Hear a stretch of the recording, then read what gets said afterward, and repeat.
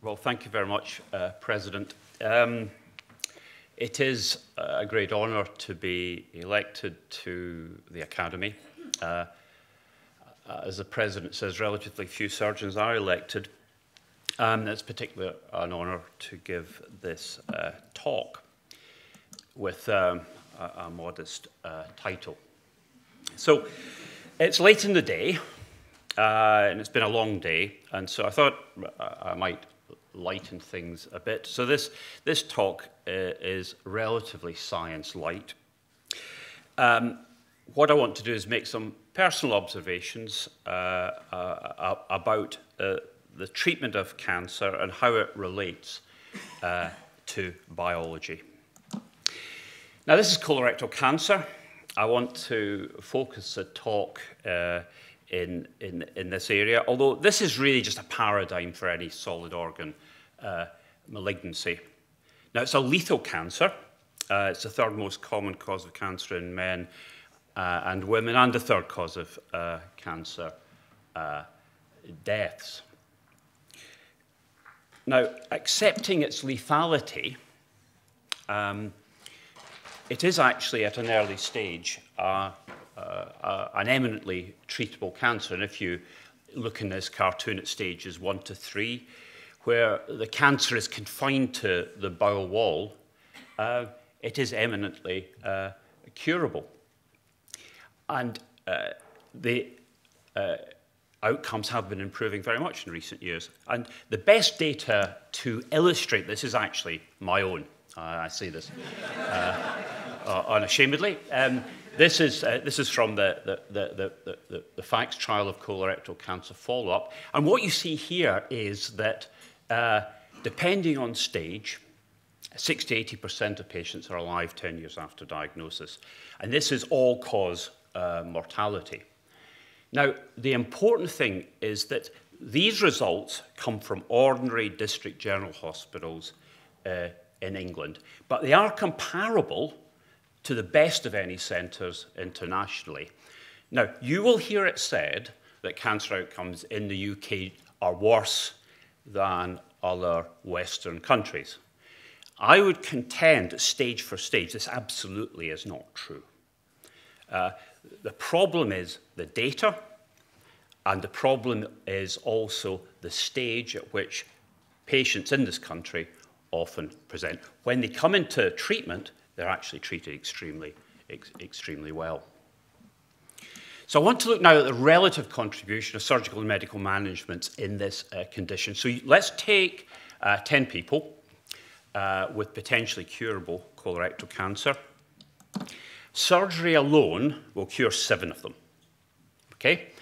Now, if you add medical management to this, you may just about get another one out to five years, but that's questionable.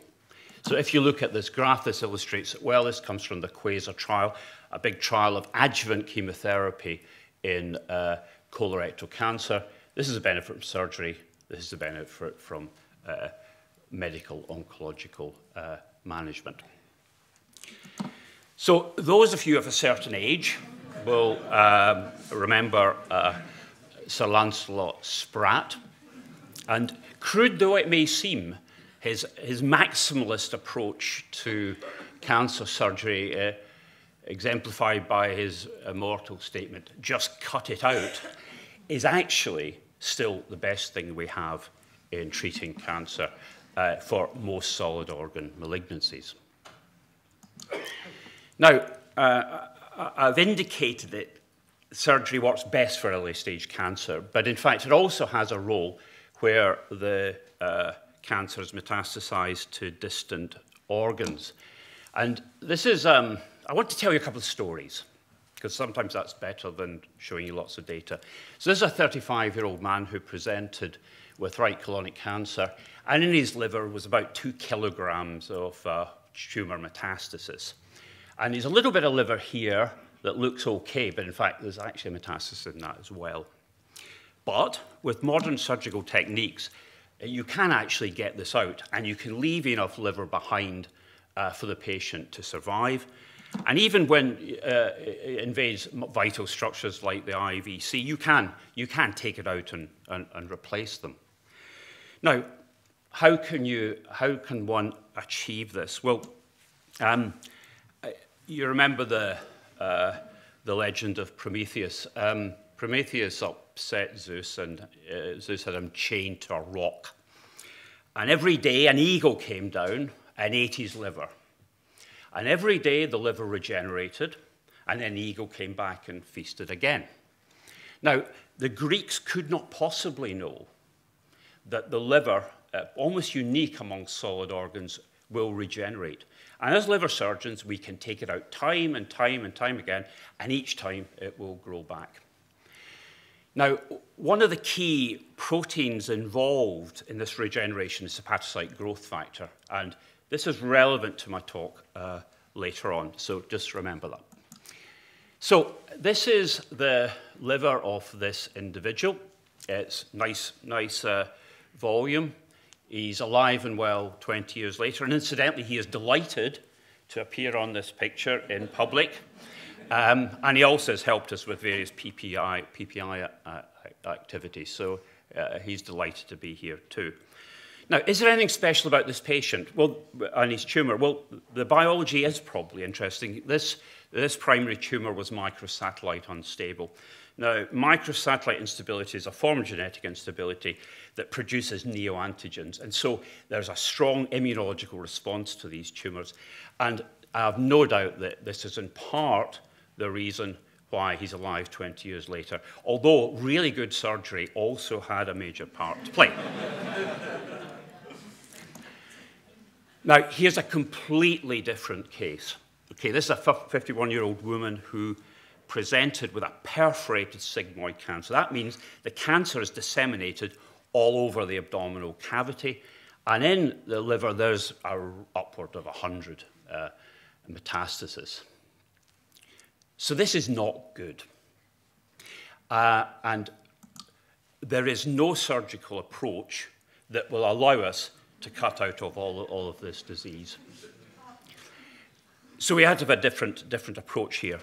Now, um, cetuximab is uh, an antibody to the epidermal growth factor receptor, which is uh, a protein on the cell surface which is involved in, in, in cell division. And efficacy has been shown in colorectal cancer. So this patient was uh, recruited um, to a clinical trial called COIN. It's a happy coincidence that Tim Maughan, who's the chief investigator of COIN, was also admitted uh, today. So the patient went into this trial, and the cancer largely uh, disappeared. So what did we do then? Well, we uh, took it out uh, with an extended hepatectomy. Then a year later, she popped up another uh, metastasis and that was ablated. And then two years later, she popped up a lung metastasis, so we took that out, and now she's out at 10 years, and is, is probably actually cured of disease.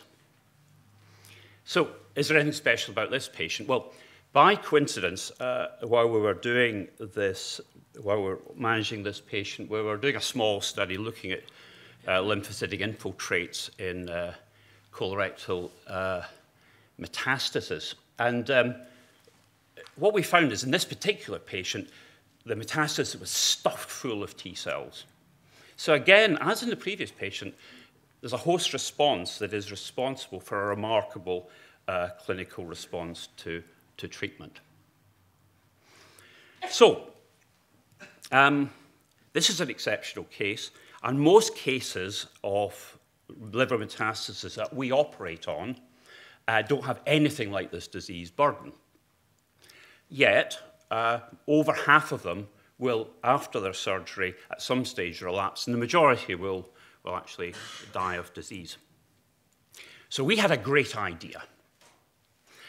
What if we give this really effective therapy to patients who are not quite as bad as this, in the hope that you'll get rid of the micrometastatic disease that are obviously leading to the uh, relapse? So, fortunately, CRUK thought this was a really good idea too. And so they funded this trial, which is called New EPOC. And patients were either had the sort of conventional type treatment of a bit of chemotherapy, an operation, a bit more chemotherapy, or they got the chemotherapy plus the, the antibody uh, cetuximab. Now, the results were dramatic. However, not in the way that we thought. What you can see here is there's been a very significant detriment to the, survive, the cancer-free survival of patients who were treated uh, with the cetuximab therapy. And this amounted to about nine months loss of cancer-free uh, life. Statistically, this is really significant, but unfortunately, the effect is clearly in the wrong direction. Now, it's really difficult to reconcile massive, really good response in one patient situation, and in this clinical trial, quite, quite the reverse. So we had to try and dissect the problem to see what the cause of this was. Now, um, some of you are familiar with uh, forest plots, perhaps some not. This is a forest plot. It's a graphical method by which we can look at different subpopulations within a trial and look at the effect of the intervention. So if we do that here, what you see is that patients who have bad prognostic features, such as poorly differentiated tumours, multiple metastases, actually are not harmed by the drug. They, they don't benefit either, actually, but they're not harmed by it. By contrast, uh, patients who are what we would regard in the good prognosis group, and that is well differentiated tumours, very small numbers of, of metastases, are very seriously harmed. Now, we've looked at this in a different way also. And here we've looked at the magnitude of the surgical operation. And just at the end, I've put in the patient we talked about earlier with a completely uh, inoperable disease. And what you can see is the harm is all in the patients who have the most minimal type of liver surgery, maybe a segment or a few segments removed. Whereas the patients who have a hemihepatectomy or an extended, an extended hepatectomy, they actually don't benefit, but they are not harmed either. So, how can we uh, put all this together and explain these rather contradictory results? Well, you recall when we were talking about liver generation, I mentioned uh, hepatocyte growth factor. Well, hepatocyte growth factor acts on a cell surface receptor called c-Met. Now, c-Met is also found on cancer cells, uh, and in patients who are treated with cetuximab, this pathway is often activated.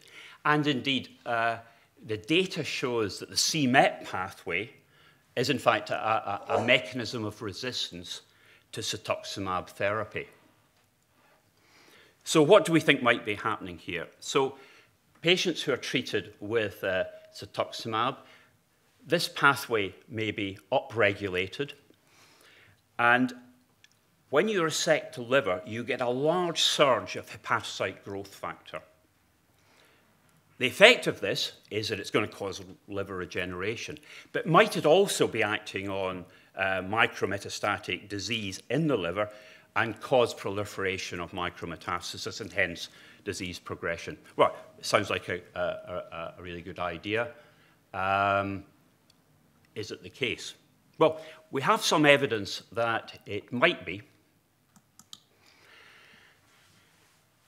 what we've done is we've taken the primary tumours and the metastasis from the patients in this trial and looked at the expression of c-Met protein on the surface of the, uh, in, in, the, in, the, in, the, in the various tumours. Now, if you look at the group on the left here, who have not had cetuximab, you can see that there, it makes no difference whether the c-Met goes up or down between the primary and the metastasis. By contrast, if you look at the patients who've been exposed so, to uh, cetuximab, what you see is if the c-Met protein expression goes up between the primary and the metastasis, there's a marked detriment to the survival of the patient. So at least, on, uh, at least it would appear that our theory does have uh, some basis. Now, at present, what we're doing is we're trying to develop an in vivo model to try and, uh, to, to, to try and dissect this pathway in more detail. I have to say this is proving quite difficult, and I maybe won't talk any more about the successes or lack of success of this at, at, at the moment. So I really want to finish there. Um, uh, surgical treatment of cancer, I think, does remain the main principal way of achieving cure for patients with solid organ malignancies, even when it's in the, the metastatic setting. Um, but curing metastatic disease relies on several things. It relies on uh, certainly good surgery, it relies on tumour biology, and it relies very much on a multidiscipline treatment of these patients. Now, bit of a caution about the new drugs. The effect of new, the modern target, what's called targeted anti-cancer agents, is clearly not always predictable. We don't understand the biology well enough. And this really emphasizes a need for well-performed uh, clinical trials in this area. When we did the New EPOC trial, we had centers saying to us that it was unethical for us not to give these patients cetuximab. Uh, but look, look how it turned out. So it's very important that these things all ought to be looked at in a, in a, in a properly constructed clinical trial. Lastly, I think that uh, everybody's I think, familiar with uh, GEL and these initiatives to sequence routinely cancer genomes. And this is uh, unquestionably going to give us a better understanding of the cancer biology and also allow us to personalize cancer treatment. And this shows great promise. So thanks very much to everybody in the team in Southampton who've helped me with this, my collaborators nationally and internationally, and also for these uh, funding bodies. And I hope they will all continue uh, to support me and give me money in the future. Thank you very much.